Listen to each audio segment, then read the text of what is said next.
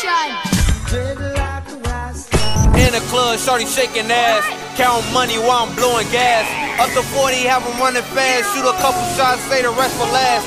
Shoot perfect like I hang with Nas. Yo, yo, yo, what's going on? It's that guy. Getting into this video. P Rico had a update with his mugshot. Apparently incarcerated till 2019. Chiraq rapper had to cut his dreads when transferring state prisons. Legendary Rico, also known as Maurice Johnson, is now in the Pontiac Medium Security Corrections with no dreads. But seeing where seeing where he came from here on his Twitter account, these locks that he had up beforehand were quite long, quite twisted as you can tell from the roots at the moment. You can see that they are right up to the scalp, leading me to believe that he had his dreads twisted up on the regular. Looking at some pictures here of Rico's dreads, you can see the length of them has pretty much been short. He would have had these twists started, you know, possibly up to five years ago. As you can see, I'm rocking the hat here with the beanie. Um, very thin looking locks that would have been twisted up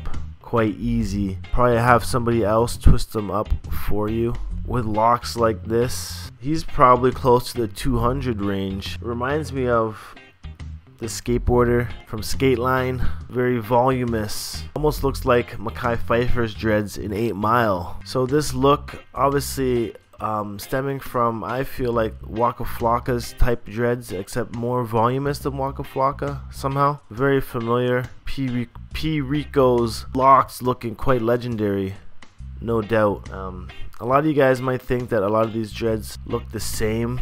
Apparently, it seems to be a Chief Keef started trend on that side of town.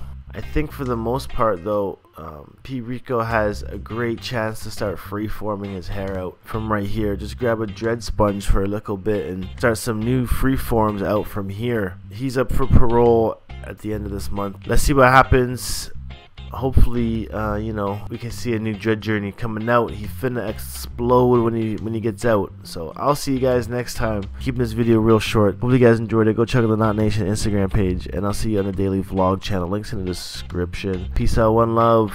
Appreciate it. Yeah man. Yeah peace out. Bless up yourself. Glock 40 with a laser on a niggas trying to kill me, put money on me.